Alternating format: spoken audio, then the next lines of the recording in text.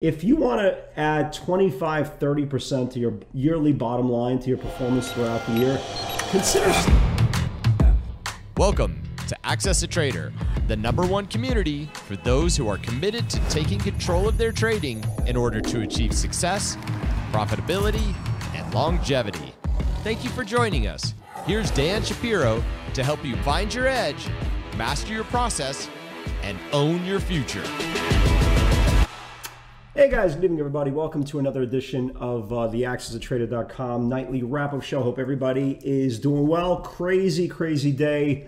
Uh, we'll get to that in a second. Uh, again, if you are uh, new to the channel and you like uh, content that is unbiased and purely technical, I would love to have you uh, join our ever expanding family. Uh, click a like, subscribe to the channel. We go live, well, uploaded uh, Monday through Wednesday. Thursday, I'm off to decompress the mind. And then we do this again on the weekend update. So let's get into the market. Last night, uh, we talked about um, the importance of a couple of levels, right? Uh, we started talking about the S&P 500. Uh, we knew we had to get above uh, this 390 level, right? 390 level and start building above that. We knew that. QQQ we talked about last night, the importance of building above this whole channel here. We talked about that 270 15 level. We knew that. So we were prepared for a possible day two run of confirmation from the post uh, December jobs number. We were ready for it, right? The Qs, uh, Amazon, Tesla, so forth and so on. And so be it uh, the market did that, right? The market confirmed uh, pre-market highs. Uh, we had a you know decent, slight little gap up. It confirmed opening range highs. Uh, everything under the sun went absolutely nuts. We'll get get to the individual pivots in a second, and then things got really, really real, right? Uh, we needed a desperately a close uh, above that level on the SPY. we needed that close uh, above the 389 level. Everything was looking great. I mean, really, really good. Uh, you know, the spies exploded, the Qs exploded. This is an intraday look, right? This is an intraday look on the spies. They got above this whole channel here. They started rallying, started rallying, continued to rally. And then right around 230, 2 230, you had uh, you had Bostic speaking, you had Fed Daly speaking again heard, you know, t- correct me if you heard this before. They speak way too much. Again, all these Fed people, they, they, I'm really convinced they get, they get paid by the word. But all of a sudden, they kept on reiterating what they already said last week, right? Uh, that they expect to have rates continue to base over 5%. They continued to stay within uh, until 224 or even beyond. And all of a sudden, what the market loved on Friday, that news that made it rally 700 points in the Dow, got spooked out, and the S&P was up one and a half percent. And the end of the day, they went red on the day, and you know that was you know that was a pretty big body blow to the bulls because the bulls reclaimed the 50-day moving average. Right? We when I left at 2:30, uh, I went you know I went to the gym, I went to the sauna I was already mapping out my you know my my trading day for tomorrow based on you know based on uh, what we saw and how we were closing. And everything was super duper strong. And by the time I got out of the sauna I got dressed I you know turned on my phone you know I'm looking at I'm like huh how, did, how did the Dow go red how did the S&P go red so you know it was a big blow I mean really really big blow uh, to the bulls they reclaimed the 50 only to lose it back on the close and now putting in an inverted hammer if you uh, for all you guys who are brand new to trading, um, invert hammer is not a good thing, right? If a hammer is bullish, guess what? Invert hammer, not so much. So the bulls have to, right? They have to do whatever it takes for tomorrow to reclaim back this 390 level. If not, you guys remember what happens when you start building below the 50 day moving average, and this is where the bears uh, kind of reclaimed out the close, the longer we continue to stay below the 50 day moving average, again, it's not a good thing. So, the, the primary job for the Bulls, no, hella high water tomorrow. I don't care what happens, I don't care who speaks whatever the case may be, whatever the headlines may be, reclaim back that 390 level. The Bears' job is to make sure that we continue to build below today's lows, right? If you look at today's lows, uh, we have this uh, 387.67 uh, area on, on the SPYs, uh, confirming and correlating with the inverted hammer. Not good. Qs were running amok, right? You ever hear that expression, running amok? I, like, I actually like saying that. Right? The Qs were going nuts. They reclaimed the 270.15 level, took out the pre-market highs, right? Took out the pre-market highs of 2775. Again, we'll get to the pivots in a second. They went absolutely nuts. I thought they were going to get to the, you know, had a shot at the 274 level. They traded up to 75. But man, oh man, look at this. Look at this reversal back into the close. Here's what the Bears need. Here's what the Bulls need to do, right? The Bulls need to reclaim back. We were we were literally a stone throws away from retesting back that 50-day uh, moving average, just like the way the spies did. The only problem is we never got, you know, we, we, we were doing $3. You know, we were about $3, and this is not what the Bulls wanted. Here's the kind of playing devil's advocate. This is where I don't think it's as clear as day. Like sometimes you look at a chart and you go, oh, the clear as day. You know, the market gave back this area, blah, blah, blah. You know, I'm 100% sell bias, I'm 100% buy bias. Here's where you can play devil's advocate, right? So this is the highest close in the whole formation, right? We talked about 270.15. So this 270.54 is the highest close in this whole formation. The problem is, right, we got rejected off supply here. The spies fell below back the 50-day moving average, and this put an inverted hammer as well. So this is where the spies need to kind of react for tomorrow, right?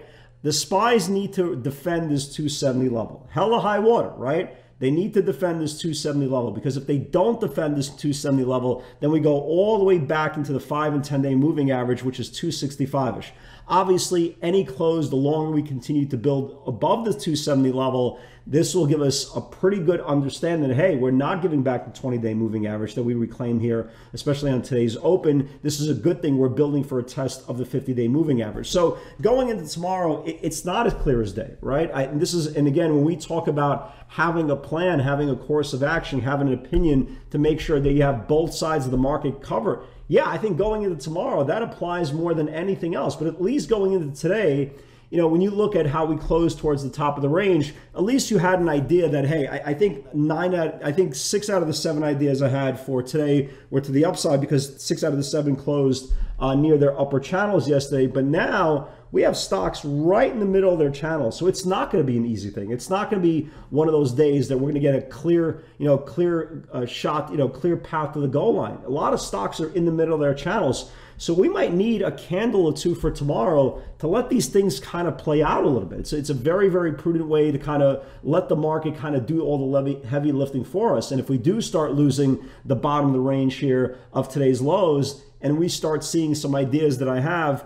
uh, for tomorrow, you know, we, we might start looking back to the, to the to the downside. So we're gonna have to let the market speak to us tomorrow. There's a very good chance tomorrow it'll be an you know kind of one of these weird days Market can't go higher, market can't go lower, but it's one of those days that are necessary. It's one of those days that are crucial to your development because this is where you let you know you you you let the do, the market do the heavy lifting. It's going to tell you exactly where the high probability next move of the market will be, and this is another point of reference that again we don't need to guess, right? We don't need to try to figure out what's going to happen. At 2:30 today, everything looked phenomenal, right? I had 35,000 long buys placed for tomorrow an hour, you know, only an hour later, not so much. So we have to have some long ideas for tomorrow. We have to have some short ideas for tomorrow. One stock that actually held up really well. We talked about Tesla last night in the video, right? It held up really, really well, right? Within, you know, within what, $3 of the highs.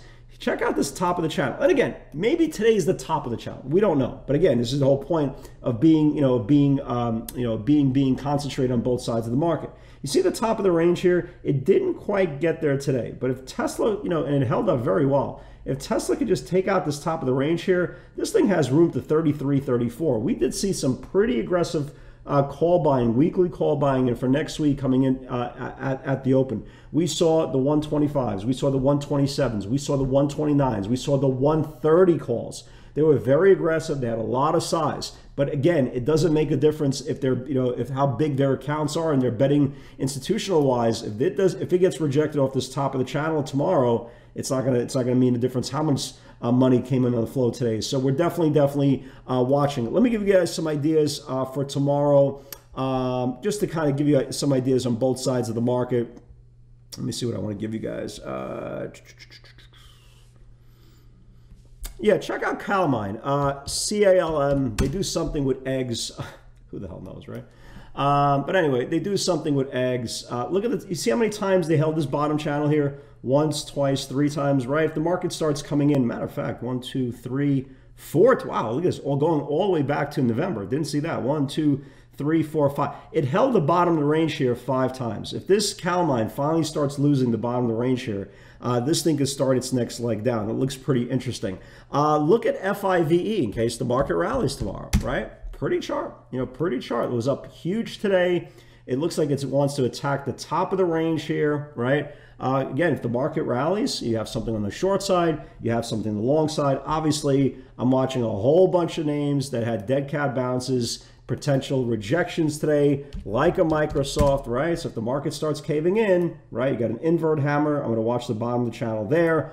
Uh, a name like, for example, Apple, same thing, right? Apple had a nice dead cat bounce, got rejected off the 20-day supply, put in an inverted hammer. The market starts going down tomorrow, again, we want to look at the weakest names. The weakest names, if you guys remember from last week, were Microsoft, or Apple, right? So we want to go with the weakness. We want to go with the stocks that are dead cat bouncing and got rejected off supply. We don't want to go with the strongest stocks of the market. They might pull in, but we don't want to go with them. We want to go with the one that are wounded, not the ones that are, are, are Teflon Don and bulletproof. And that's the easiest way uh, to the goal line. So let's talk about it, man. Uh, crazy aggressive session today uh, till around two o'clock. But you know, this is where we say, guys, the day trading window, okay, uh, the emotional window is between 9.30 in the morning to around 1, 1.30 in the afternoon. After 1 o'clock, you start seeing all these crazy headlines, and it's always one of those situations that there's a higher probability that you are going to give back your whole day in the afternoon. They're going to give give back your whole day in the morning, right? You ever hear that expression? I just gave back my whole day. It's very rare it happens in the morning. It's always in the afternoon because you have Fed comments, you have political headlines, you have domestic headlines, you have this, you have that. You have so many different things, and everything looks great until it doesn't. So it's very, very important. One little tip, and I think I've spoken about this in numerous times throughout the years. If you want to add 25, 30% to your yearly bottom line to your performance throughout the year, consider stopping trading after one o'clock. Okay, I'm telling you, the channels are going to contract. In the morning, they expand. That's why you're getting the ferocious moves. Uh, and whatever you like in the afternoon, you're going to love in the morning. So if you could be disciplined enough to not trade in the afternoon, you're going to be shocked uh, at your year-end results. If you are trading in the afternoon, you know, risk 10, 15% of your day. Nobody should ever give back half their day.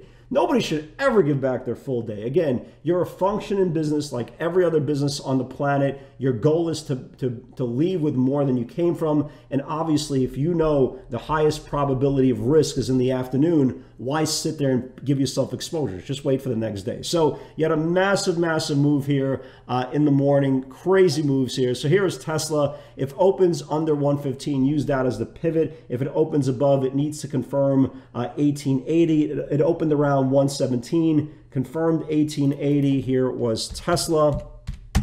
Right here was Tesla. You can see it on the 60 minute view, right? So Tesla opened up right here, right? This, this 18 area, it finally confirmed 1880, went from 1880 all the way into the 23 and a half area. Really, really good move. But more important, you have this top of the channel here that we spoke about a couple of minutes ago. If it confirms this tomorrow, uh, you have a lot of really good upside. Uh, Amazon, beautiful move, uh, needs to establish new base 87, uh, 87, 87, 40. Here was Amazon. Here was Amazon con confirmed this whole range here. You see this whole range here, 87, 87, 40s. It controlled this whole range here. Opening range highs around the 86, uh, 87, 60, 70s. And the stock went right into supply at 89, uh, 40s. Gorgeous, gorgeous move there. Uh, as well. Remember we were talking about grab? We were along this thing for five days. It finally broke out today. Finally, right? 360 needs to confirm. Here was grab.